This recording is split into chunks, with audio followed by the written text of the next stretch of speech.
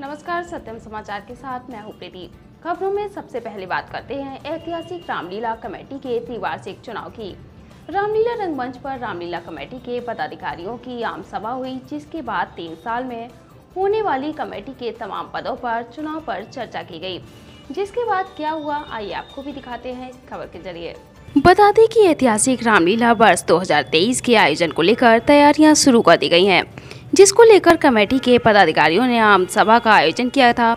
इस आम सभा में श्री राम लीला कमेटी का त्रिवार्षिक चुनाव पर चर्चा हुई, जिसमें बैठक में उपस्थित सभी पदाधिकारियों, सदस्यों व संरक्षक मंडल द्वारा एक स्वर में पुरानी कमेटी को आगामी तीन वर्षों के लिए दायित्व पर बने रहने की बात कहते हुए सहमति जताई और सभी ने करतल ध्वनियों से कमेटी का स्वागत किया। तो वहीं बैठक में तीसरा एजेंडा रामलीला महोत्सव की पूर्ण रूप से तैयारी पर चर्चा की गई, जिसमें कमेटी के उपाध्यक्ष अशोक गुप्ता, पप्पू ने बताया कि रामलीला इस वर्ष 10 अक्टूबर से शुरू होकर 28 अक्टूबर का मंचन होगा।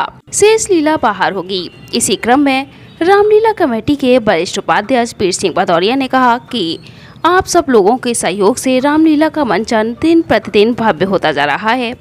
आप लोग इस वर्ष हुए व्यय के अनुसार सहयोग करने के लिए संकल्प रहें।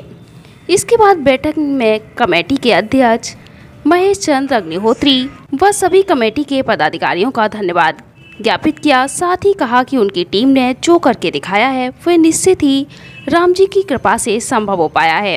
रामलीला मैदान में हुआ सदन। आज ये रामलीला कमेटी की बैठक हुई है। आय व्यय का ब्यौरा दिया गया। और कुछ क्या रहा पूरी बैठक में? क्या कहते हुए सबसे पहले तो आय का लेखा जोखा प्रस्तुत किया था। सन बाईस में जो खर्चे हुए थे और जो आमदनी हुई थी। उसके बाद त्रिवार्षिक चुनाव होना था। वो सर्वसम्मत से पुरानी कमेटी को ही पुराना पूरा कमेटी उसी को नामित की गई है। तो वो इस बार तीन साल के लिए देंगे कौन कौन अध्यक्ष श्री महेश चंद्र अग्नोत्री जी मंत्री श्री रमेश चंद्र सराफ कोषाध्यक्ष मेरा नाम स्वयं सुरेश चंद्र बंसल और उपाध्यक्ष में हमारे यहाँ चार हैं उपमंत्री तीन हैं।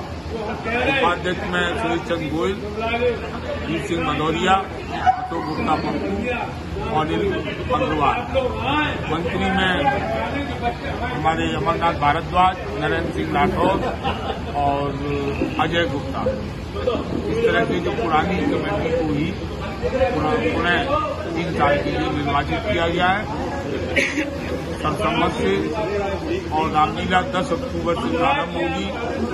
तेरह अक्टूबर को शंकर जी की बरात निकलेगी और उसी हिसाब से सत्रह तारीख को भगवान श्री राम जी की बरात। अट्ठाईस तारीख को राम यज्ञ के साथ और कुछ मीना मैदान में होगी उसके बाद चौराहे पे भरत मिला। और बीच में जनकपुरी और राम राज्याभिषेक ये सब मैदान से बाहर होगा। क्या कुछ विशेष कलाकारों को बुलाने का प्रबंध किया इस बार। बहुत अच्छे कलाकारों को बुलाने की व्यवस्था की गई है। स्वरूपों में छोटे छोटे बालक आ रहे हैं इस बार राम लक्ष्मण और सीता के रूप में। और उसके संग सांस्कृतिक विभाग से कुछ नृत्य के कार्यक्रम के लिए एक टीम मंत्री जी से अनुरोध कर उसको भी बुलाएँगे। जो सबका मनोरंजन करेंगे।